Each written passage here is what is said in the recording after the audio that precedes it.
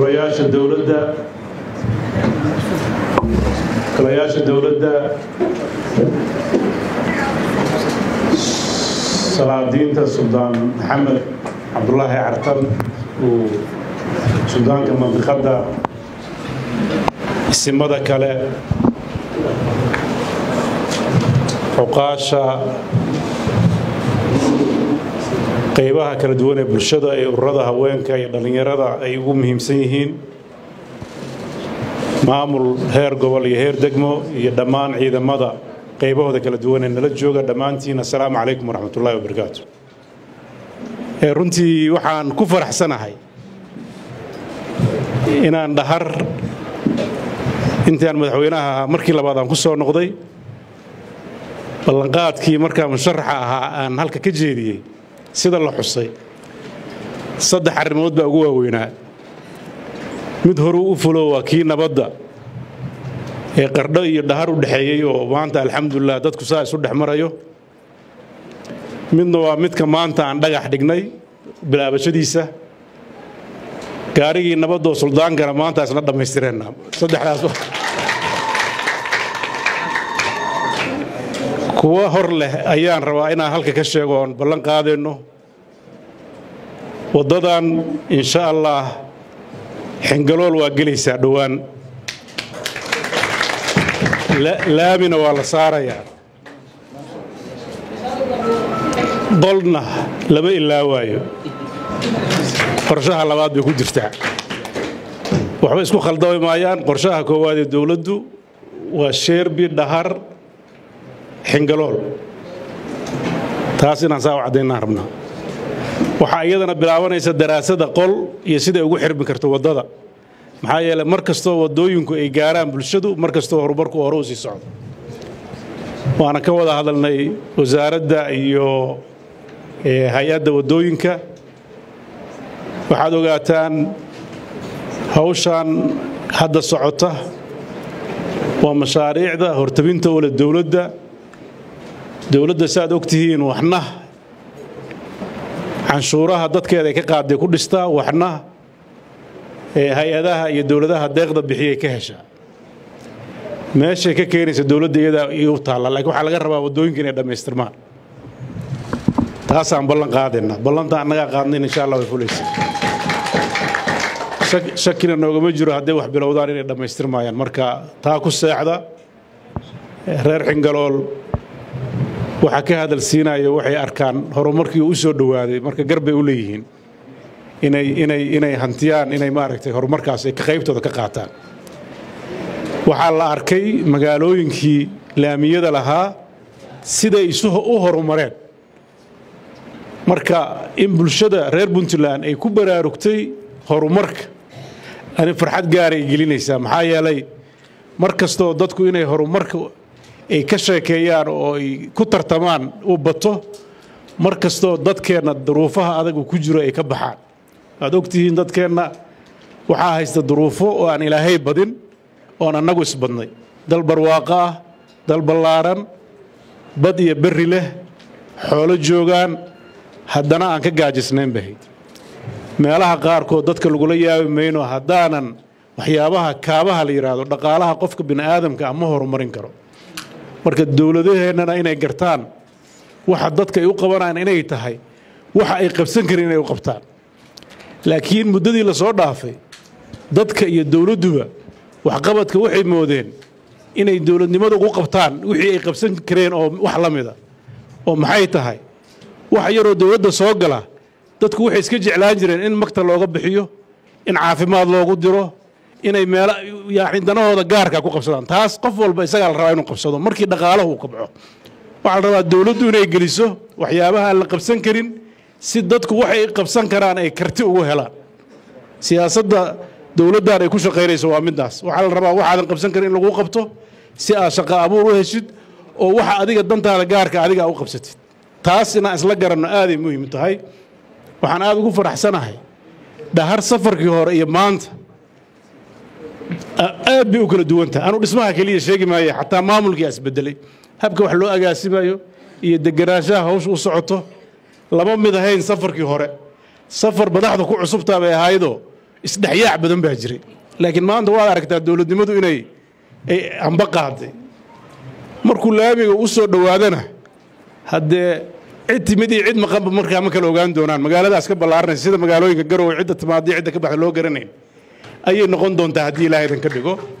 Maxaa yeelay nin walba shaqadiisuu qabsanayaa nin walbana shaqaduu leeyahu qabsan doonaa. Waxaana keenaya arrimahaas waa horumarka in laga shaqeeyo. Marka waxaan ku faraxsanahay oo runtii intaa u soo marnay inaan dadka ku baraarujinno inay horumarka ka shaqeeyaan. Horumarka puntland kaabayaashiisu waa ay fara badan yihiin. Hadda waxaan ka hadalna waa kaabaha dhaqaalaha. Kaabayaasha dowladda kaabaha ugu muhiimsan waa kaabaha siyaasadda oo ay ka dhiman tahay puntland arrimaha laga sheekeeyey oo dimuqratisayshonka ah waxaan aada ugu farxay warbixinta aan xalay helay dalladda dhallinyarada ee xalay halka isku dooratay.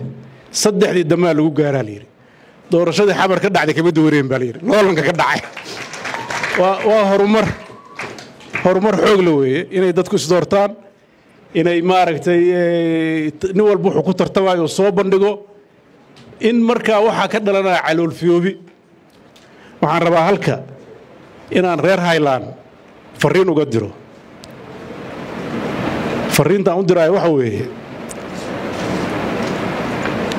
dadku waa inay heshiiyaan. Hadda waxaan ka hadalnay inay qardha iyo dhaar heshiiso. Waxaa la rabaa dadka gobolkan ku dhaqan mandiqadan oo dhanna wixii dhexdooda ku jira inay ka heshiiyaan. Hadday jirto. Taas waxay horumar u keenaysaa inay dadka kaleeto dariskoodana la heshiiyaan dadka nabadda ka shaqeeya runtii oo salaadiinta iyo cuqaashu ay tahay. Haddaan dadweynaha iyo dhallinyaradu aysan gacan ku siin waxba ma qaban karaan.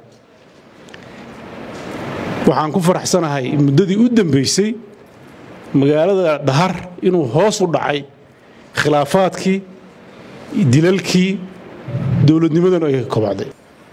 Waxaan kaloo hal ka ballan qaadayaa safarkan safarkii u dambeeyey maaha intaan xilka joogo insha allah marka hadda abaaro iyo culays baa jira roobka markuu do mar labaad inaan dhahar ku soo noqdaan rabaa oo habeen seexdo haddii ilaahay.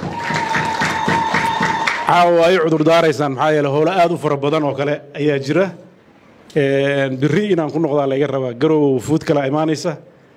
Marka waxaan rabaa insha allah markaasna inaan soo noqdo oo habeen iyo laba wada joogno oo wax badan ka wada hadalna laakiin markaas dambe oon imaanayo magaaladan oo siraadan oo qurxoon oo sidiisi ka duwan safarkii xigay waan ku faraxsanahay talooyinkii aan halkaa ku qaadannay inay wada fuleen oo magaaladii faramagaalo heshay. Mashaariicdii u horraysay ay fuleen jidadkii ay dhex mareen. Maantana kii weynaa uu socdo magaalooyinkuna isku xirmi doonaan. Waxaasoo horumara ma dhici lahayn haddaan dhaqan iyo siyaasad iyo dowlad ay isku xirnayn si gaaraan haylaan waxaan u mahadcelinayaa suldaan maxamed sida dhow uu ula shaqeeyo dowladda iyo sida iyaga isaga iyo cuqaasha kaleeto oo caaqilkii caaqil sarbaake iyo caaqil siciid caafimaad buuxda aan u wada rajaynaya odayaasha. Waxaan rajaynayaa horumarkaas socda oo aad qaybta ugu muhiimsan idinku leedihiin. Inaad dhallinyaradana si hoose loo eego. Dhallinyarada waa xoog firfircoon laakiin haddaysan odayaasha iyo dhaqanka iyo dadka ku xirnayn horumarka ay samayn karaan waa adag yar tahay runtii wasiirada degaanadan ka soo jeeda mandiqadan inkastoo laba gobol tahay haddana sibay hal gobol u tahay oo sanaag iyo highland waa gobol isku mid u ahaan jiro laba gobol laga dhigay. Welina waxbaa isugu sidkan.